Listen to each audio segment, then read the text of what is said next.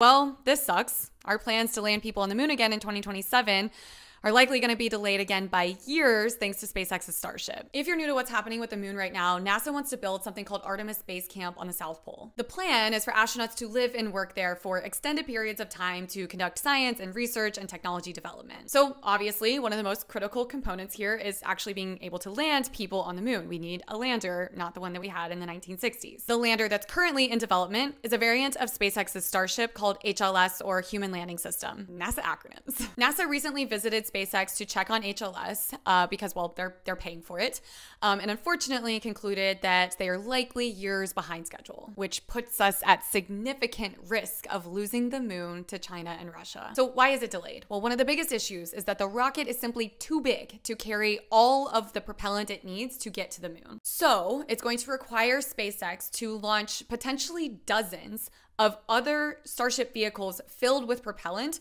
to then refuel HLS on its way to the moon. The problem is, refueling in orbit is incredibly complex, especially refueling cryogenically cooled propellants. And NASA has said that work has slowed due to competing priorities with SpaceX's own Starship development. Now, we should still see the launch of Artemis 2 early next year. They're targeting February. If you're new here or just need a reminder, that is the launch of four astronauts in an Orion capsule around the moon. They're actually going to go farther than any human has ever ever gone before, but they're not actually going to land on the moon. Artemis 2 is basically Apollo 10, and Artemis 3 in an unknown amount of time will be Apollo 11.